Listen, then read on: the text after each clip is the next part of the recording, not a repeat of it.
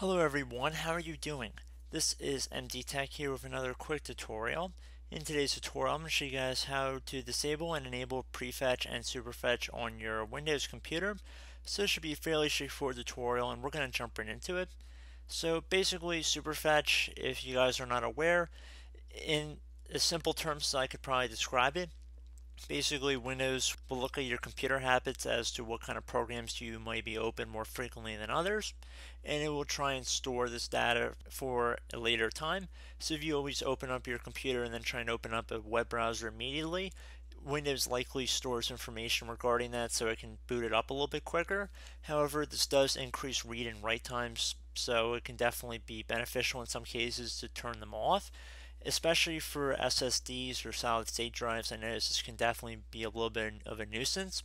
So this brief tutorial is going to show you guys how to optimize these drives to be a little more efficient. So again, this is my opinion, but a lot of other people have that opinion as well. So without further ado, let's jump right into it. And we're going to start by opening up the start menu and you want to type in regedit. One of the best managers should say regedit. And you want to right click on it and then left click on run as administrator. If you receive a user account control window, you want to left click on yes. Now at the same time, I'm going to go back to start menu and type in services.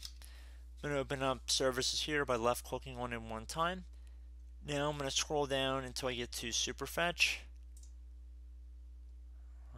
Right about here. Double click on it. Underneath service status, I'm going to left click on the stop button. And then I'm going to left click on OK. You can close out of the services window at this time. And now back in the registry editor, I'm going to expand the HKey local machine folder right here. So now that you've gone underneath HKey local machine, now you want to expand the system folder. Now you want to expand the current control set right here. Left click to expand that.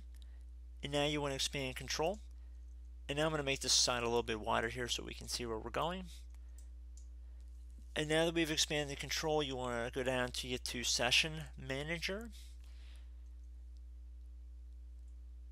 Right here. Going to expand that one as well.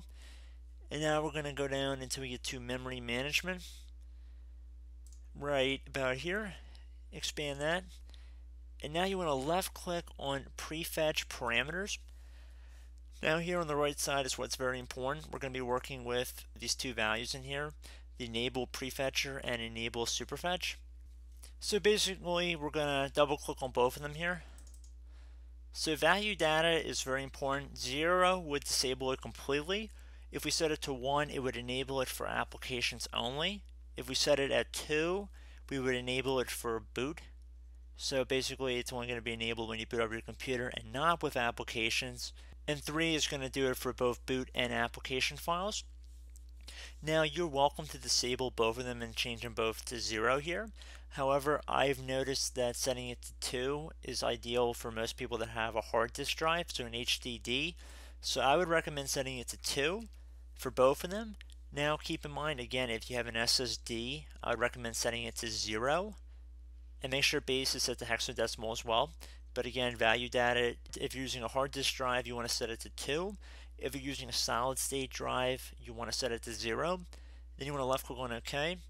And I'm going to do the same thing for Superfetch here. I'm just going to keep them consistent.